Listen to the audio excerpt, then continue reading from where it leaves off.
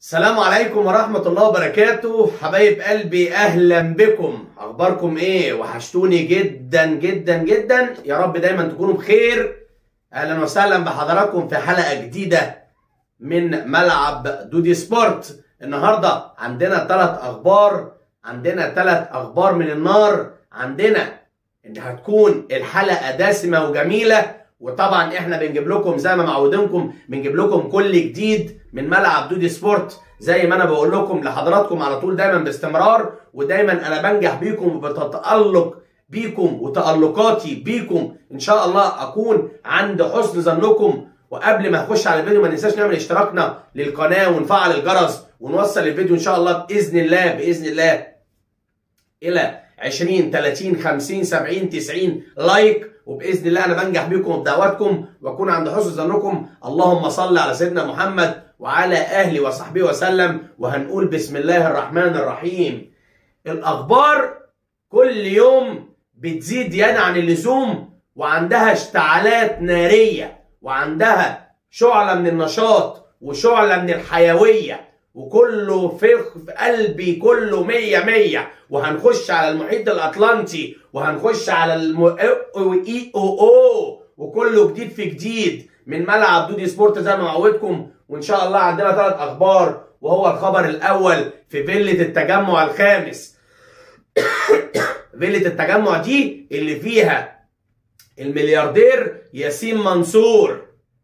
ياسين منصور اللي بيحب يجتمع باللعيبة واللي بيحب يعمل شغل من تحت لتحت وهو ياسين منصور اللي بيحب يعمل المجتمعات المغلقة جوه فيلة ياسين منصور في التجمع الخامس علشان كده قدر يخطف الثلاث صفقات اللي أنا بكلم حضراتكم عليها دول وهي الصفقة الأولانية وهو أشرف بن شرقي اللي خلاص على وشك فيلة التجمع الخامس أول بداية مشواره وهي فيلة التجمع الخامس. هو ياسين منصور طالب بيقول له يا أشرف يا بن شرقي أنت عايز إيه؟ رد عليه أخوه كوكيل أعماله بيقول له يا سيادة النائب ولا يا سيادة مدير الشركة التعاقدية للنادي الأهلي إحنا طالبين مليون ونص مليون دولار. الراجل عمره ما هيتأخر على أشرف بن شرقي بس هو مستني بيتسو موسيماني وكابتن محمود الخطيب يقول آه علشان لو قال آه هيقول آه وكله هيبقى آه واشرف بن شرقي هتفتح له تأت القدر على طبق من ذهب. يعني أشرف بن شرقي لو رد عليه كابتن محمود الخطيب وقال له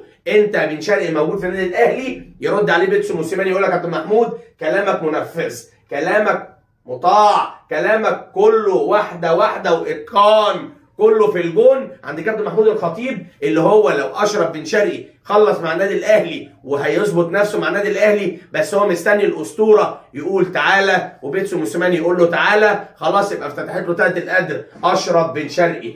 الخبر الثاني وهو خبر أبو جبل اللي الدنيا كلها معروض عليه من نادي الزمالك 15 مليون جنيه وهو برضه مش راضي ولا عايز يتعاقد ولا عايز يتكلم ولا عايز ياخد بسرعة لطافة ويمشي في اللطافة والقطافة واللطافة والقطايف واللطايف زي ما أنتم عارفين. طبعا هو النادي الأهلي الوكيل بيعمل سيستم معين لبعض اللعيبة. يعني انت عندك في ثلاثة بياخدوا فئات أولى في مش قادر أقول لكم بتبقى أول سنة 10 مليون.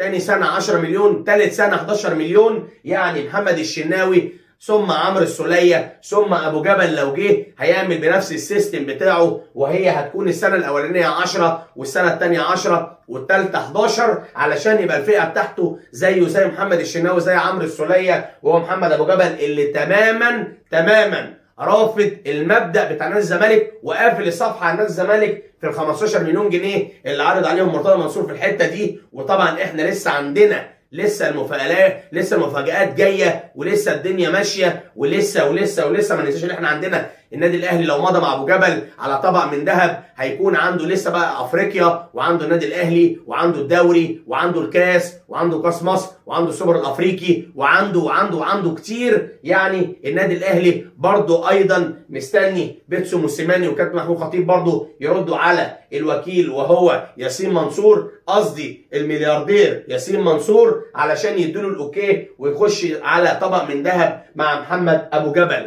الخبر الثالث وهو خبر أحمد عاطف الصفقة التبادلية ب- بنسبة لسه 70 80% هيكون رامي ربيعة لسه بنسبة 70 80% هيكون لسه صلاح محسن لسه مش عارفين مين ولا مين ولا مين ولا مين الصفقات التبادلية علشان الكابتن أحمد شوبير اللي بيتدخل في كل حاجة جوه نادي فيوتشر قال له أنت ولا هترجع وادي دجلة ولا هتلعب في فيوتشر ولا هتلعب للزمالك. انت هتلعب للمارد الأحمر وهو النادي الأهلي اللي طبعا حط لهم 2 مليون دولار ما نفعش. 16 مليون جنيه. قال له OK ومش قادر أقول لك وصل بال system معاهم مع كابتن أحمد شوبير لحد 12 مليون جنيه. يعني كابتن أحمد شوبير قال له ولا هنا ولا هنا. انت هتمت في النادي الأهلي وهتلعب في النادي الأهلي وإن شاء الله تكون من أمنية النادي الأهلي إلى نجمك التألق بتاعك إن شاء الله اللي أنت هتكون امنيه حياتك اللي أنت هتاخد نفس الفئة بس أعلى منهم بشوية. طبعا لو هو أعلى منهم بشوية هتكون في مشاكل وهتكون في وجع قلب علشان دلوقتي الجنيه عند اللعيبة دي بتفرق. النص جنيه عند اللعيبة دي بتفرق الربع جنيه عند اللعيبة دي بتفرق. عشان مش قادر أقول لك لما يجي أحمد عاطف نجم في واتشر هياخد 12 مليون جنيه هيجي يقول لك إشمعنى الشناوي بياخد 11 أبو جبل ياخد 11 عمرو السولية ياخد 11 الناس دي ياخد 11 والراجل ده ياخد له 12 مليون جنيه بأمارة إيه طبعا؟ الدنيا كلها هتيجي في اللحظة دي مع النادي الأهلي ومع الكابتن أحمد شوبير اللي بيدخل في بعض الحاجات